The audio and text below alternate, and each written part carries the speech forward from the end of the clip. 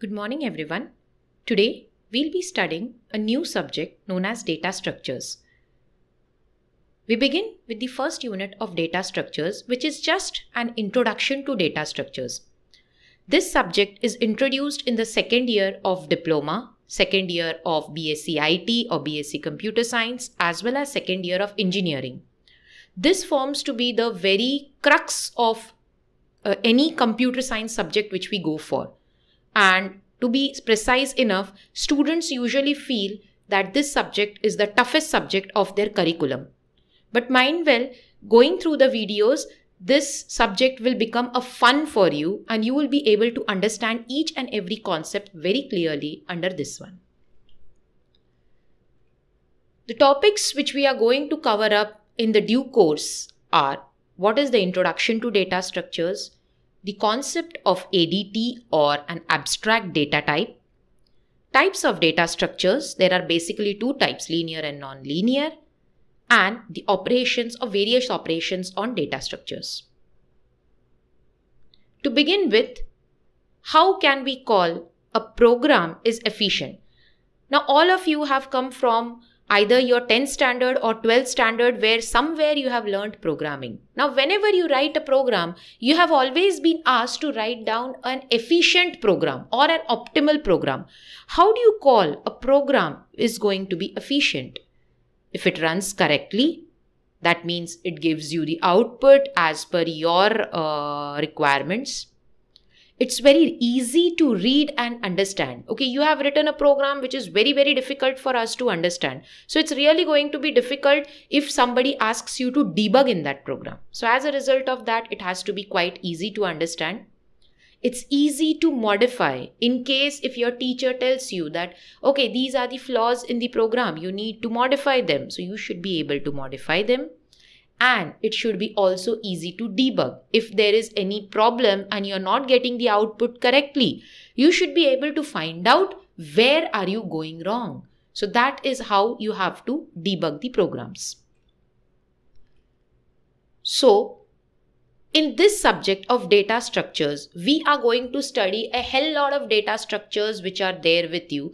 They are, let's say, in short, I'll be uh, discussing each of these data structures like stacks. You will be knowing what is a queue you will be understanding what is a tree, what is a graph, etc. And mind well, students, this is something which you are going to need till the end of your career. If you go for any competitive exams or you go for jobs, for interviews, this subject is always going to help you a lot because the logic which you learn in this subject, you apply it in all the other subjects in your future. To begin with, what is exactly a data structure or what are the types of data structure which we have. It represents the organization of data in the computer memory on which operations like insert, delete, update can be performed. Now let's say I am asking you to store any data inside the memory.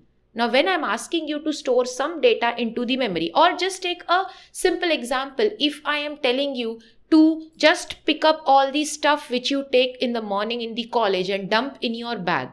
It depends upon how organized you are, the way you arrange your bags. Let's say I'm picking up all my items, my tiffin, my umbrella, my uh, uh, bottles, everything I'm picking up, I'm just throwing it in my bag and I'm leaving for my college.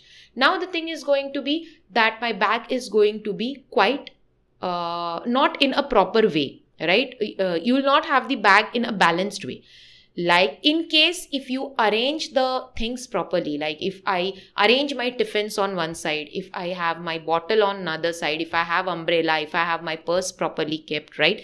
So this is how i'm organizing the data inside my bag. So even if my bag is small it still appears to be organized for me. But in case if i don't arrange the data properly it's going to be a mess right so it represents the organization of data inside the computer memory on which the operations like insert, delete or update can be performed specifically. Data structure is basically a group of data elements included under one name that is students data employees data. You must have heard this. When you go to your college all the students database is maintained. Now database is maintained in some format. Like in colleges we usually maintain it using excel. So we have rows and columns pattern. So that is the excel pattern which we are maintaining right? So that is where students data is maintained. Now this is how a database is maintained but the database gets maintained with the help of some data structure. So if you go and check excel which is in the form of a row and a column this also is a kind of data structure to you. The data structure defines a particular way of storing and organizing data so that it can be used efficiently. Thank you everyone